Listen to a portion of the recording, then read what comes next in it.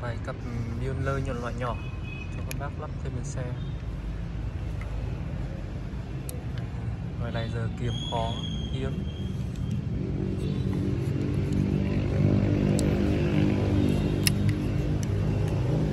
Biên lơ.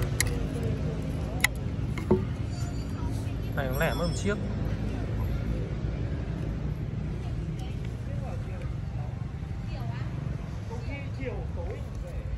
Này mình chỗ này mình thiếu chân. Mất chân đi. Chế chân.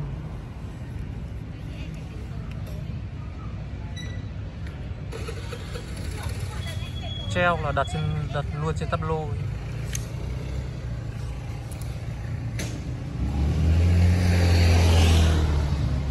năm chiếc, lẻ mất một chiếc hai đôi đủ.